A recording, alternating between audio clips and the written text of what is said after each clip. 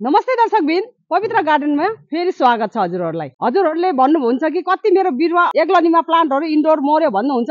यसको सबै care tips सबै मैले जानकारी दिनेछु। स्किप नगरिकन टोटली हेरिदिनुहोस् ल।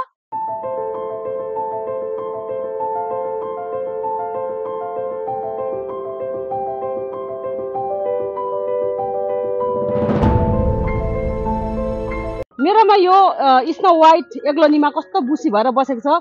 हजुरहरूले अब एउटा मात्रै गमला छ भने हजुरले छुट्याउने कोसिस गर्नुहुन्छ तर कसरी छुट्याउने तरिकै थाहा नभएर मरिहाल्छ होइन साथीहरू? त्यही भएर म हजुरहरूलाई यसकै जानकारी दिनु खोजेको। अनि हेर्नुहोस् न यो यस्तो बुसी भएर बसेको छ। यो पोहोरको बिरुवा हो। अनि हजुरले चाहिँ बजारबाट लिएर चाहिँ फट्टै अब यस्तो गमलामा आयो भने यसमै हुनु दिनुहोस् न साथीहरू। मैले कति हजुरहरूलाई मैले बेच्दाखेरि पनि भन्छु कि यसमै हुनु दिनुहोस् भनेर भन्दाखेरि पनि हजुरहरूले रिपोर्टिङ गर्नुहुन्छ अनि गमला ठुलो गमलामा हालेर चाहिँ सानो बिरुवा चाहिँ ठुलो गमलामा हालेपछि चाहिँ अनि मर्छ। त्यस कारणले यो पोहोरको बिरुवा हो। अनि अहिले यो गर्मी मौसममा यसरी एउटा बिरुवाले नै एउटा दुईवटा तिनवटा चारवटा बिरुवा जन्माएको छ। अनि मैले कति भन्छु कि हजुरहरूलाई जब यो गमलादेखि जरा निस्किसकेपछि मात्रै हजुरले रिपोर्टिङ गर्नुहोस् न भन्छु। निस्किएको छ कि छैन हेरौँ है त। यी यस्तरी। यस्तरी जरा निस्केपछि मात्रै हजुरले रिपोर्टिङ बजारबाट लिएर चाहिँ अर्को सालमा खनाउँदा पनि हुन्छ कि साथीहरू? आत्ति नै पर्दैन। अनि एग्लोनीमा भन्दैमा एग्लोनीमा धेरै परिकारको हुन्छ साथीहरू। अनि यो पनि एग्लोनीमा अर्कै छ। यो सुन्दरी एग्लोनीमा अर्कै छ हेर्नुहोस् न। भिडियोमा चाहिँ अहिले यति मात्रै देखाउनु चाहे हजुरहरूलाई। अनि हेर्नुहोस् न यो लिपस्टिक एग्लोनीमा यस्तो यस्तो बुसी भएर बसेको छ। यो लिपस्टिक एग्लोनिमा मात्रै नभएर कुनै पनि एग्लोनीमा चाहिँ हजुरले मैले गरेको तरिकाले जस्तो हजुरले डिभाइड गरेर रोप्नु भयो भने कदापि मर्दैन। है त साथीहरू? अनि सोयल मिक्स पनि मैले देखाउने छु। अनि धेरै जस्तो मेरो अहिले लिपस्टिक एग एग्लोनीमा छ। हेर्नुहोस् न यत्र त थैलोमा छ। हेर्नुहोस् यिनीहरूलाई पनि डिभाइड गरेर सबै रोप्नु छ। अनि म एउटा भाग चाहिँ एउटा चाहिँ देखाउने छु। है त साथीहरू? अनि यो सुन्दरी एग्लोनीमा भन्छ अरू एग्लोनीमा भन्दा चाहिँ यो चाहिँ मसित महँगो छ मार्केट पनि हजुरले महँगो पाउनु सक्नुहुन्छ।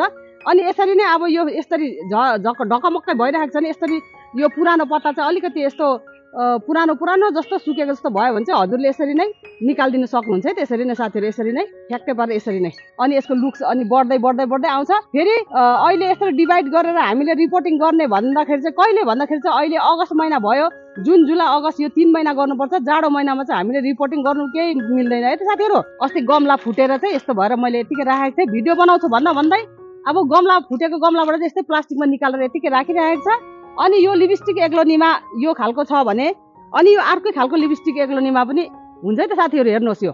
पोहोरको बिरुवा हो भने पोहोरमा एउटा थियो अनि अहिले एउटा आएको छ। यो एउटा बच्चा अनि एउटा यहाँ सानो बच्चा आउँदैछ यसरी नै। अनि मैले यसमै राख्ने छु। यो आठ इन्चीको भन्दा पनि अलिक सानो गमला हो। अनि यसमै ठिक्कै छ। यो बिरुवालाई यसमै ठिक्कै छ। जबसम्म यो जरा लाग्दैन तबसम्म मैले यसलाई पनि रिपोर्टिङ गर्ने छुइनँ।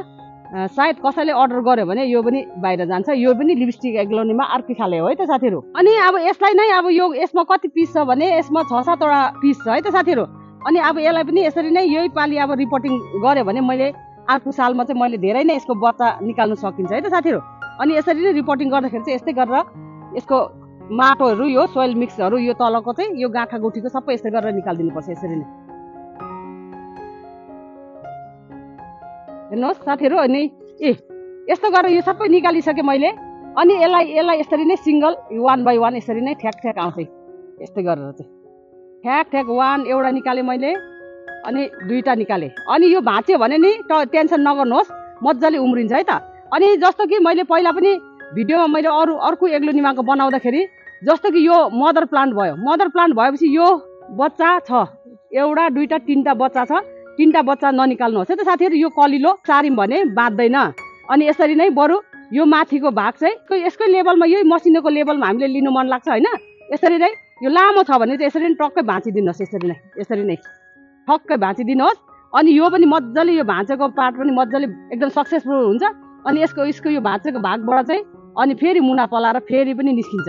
अनि यहाँ माथि चाहिँ यो भाँचेको भागमा चाहिँ फेरि फन्जी साइड लगाइदिनु सक्नुहुन्छ हजुरले नै त भने दालचिनीको पाउडर नै त भने बेसार लाउनु सक्नुहुन्छ है त साथीहरू। अब म यसलाई यतिकै राखिदिन्छु अनि रोप्दाखेरि चाहिँ यस्तै गरेर यसलाई यसलाई चाहिँ यस्तो गरेर चाहिँ यस्तो लास्नुपर्छ।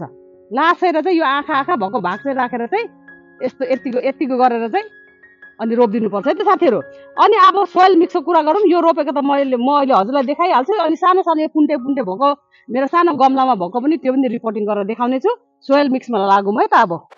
यो माटोमा चाहिँ के के देख्नु हुँदैछ भने मैले चाहिँ हमेसा माटोमा चाहिँ मैले धानको भुस चाहिँ मिक्सअप गरेर राख्छु अनि यसरी पुरा डिकम्पोज भइसकेको छ। धानको भुस छ बलुवा पनि हुनु जरुरी छ अनि धानको भुस पनि हुनु जरुरी छ।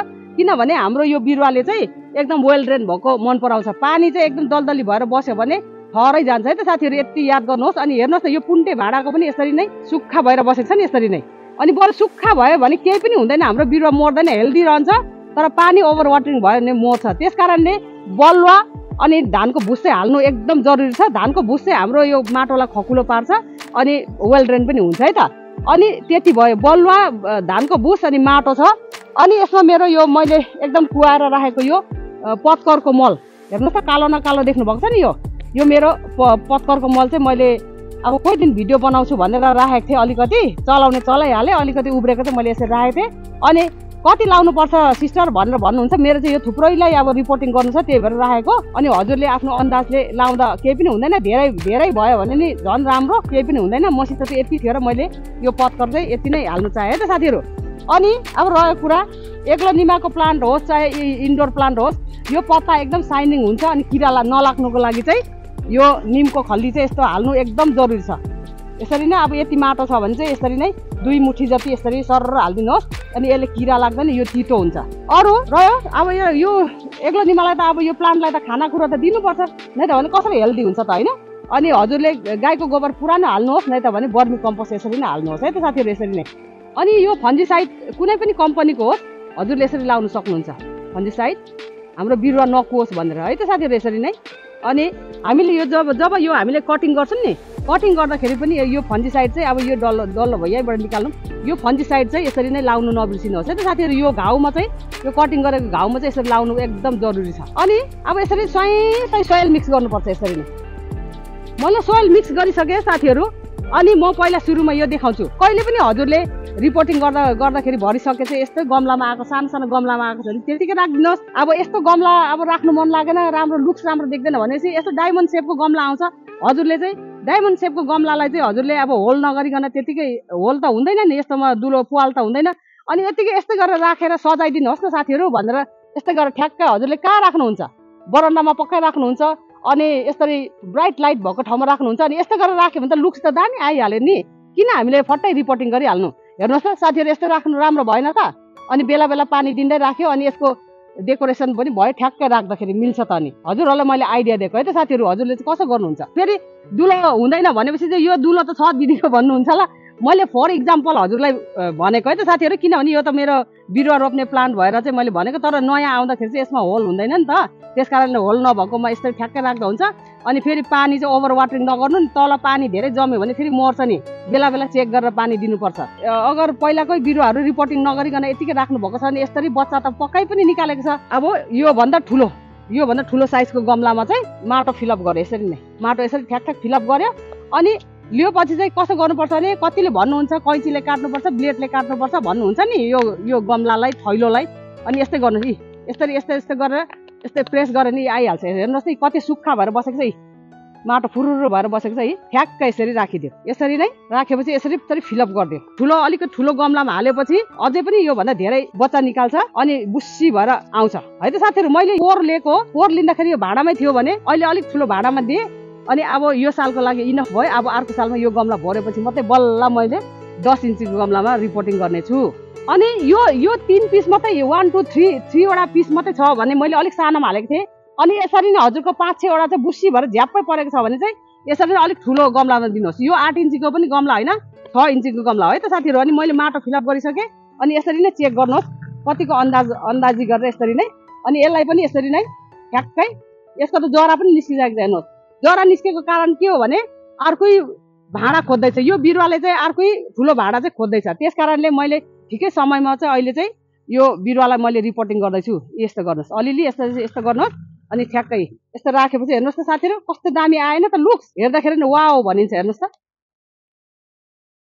कस्तो दामी भएन साथीहरू। अब यो सालको लागि मेरो इनफ भयो। पुरा पुग्यो। आइडिया आइडिया भनेको यही हो कि अघि रिपोर्टिङ गरेको गमला फेरि खाली भयो मसँग। अनि यसरी नै त्यो खाली भएको गमलामा फेरि किन फाल्नु किन किन्नु बजारबाट? वायतमा होइन साथीहरू? अनि यसरी नै यो अब अघि मैले कटिङ गरेको देखाएको जस्तो कि यो यो उखालेको होस् चाहे कटिङ गरेको होस् हामीले यो डिभाइड गरेको चाहिँ अब अर्को सालको लागि धेरै बनाउनको लागि बुसी बनाउनुको लागि फेरि यसरी नै हामीले रोप्न सकिन्छ। अनि यसरी चाहिँ प्रेस गरिदिनुहोस् एयर एयर पकेट नहोस् वरिपरि थिचेर एकखेप स्वयं पानी हालिदिनुहोस्। अनि यो मेरो जति पनि मेरो एक्लो निमाहरू यो बिरुवाहरू देख्नु भएको छ बुसी बुसी झ्याप झ्याप परेकोहरू गमलामा राखेकोहरू यो बिरुवाहरू यस्तो गर्दै अब यस्तो गरेर खनाउनुहोस् यस्तो गरेर आम्मामा, झन्डै भएको यस्तो भएर यस्तो भएर बुसी बुसी भएको छ। अनि मेरो यो सबै रिपोर्टिङ गर्नु छ साथीहरू डिभाइड गर्नु छ भनौँ न।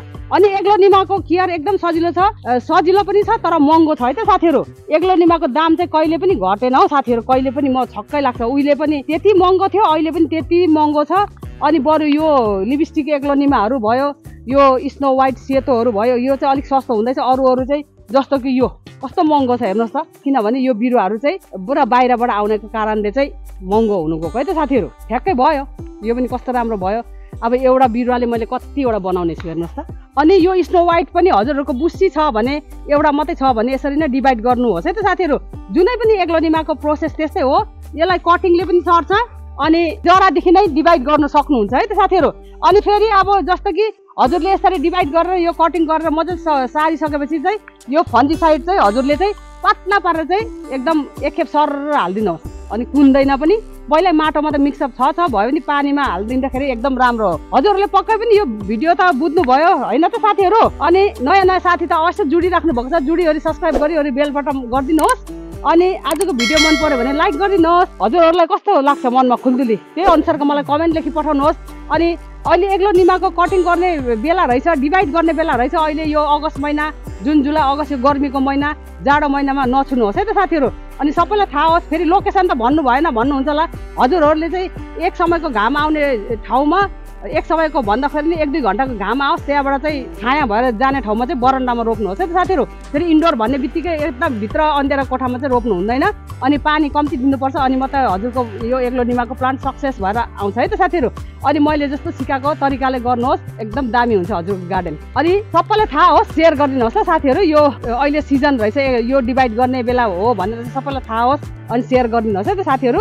अहिलेसम्म हजुरहरूले अमूल्य समय लिएर हेरिदिनु भएको थ्याङ्क यू सो मच भन्न चाहन्छु। अब अर्को भिडियोमा नयाँ जानकारी साथ नयाँ भिडियो लिएर आउनेछ। अहिलेको लागि तपाईँको नमस्कार। Bye bye. सुन।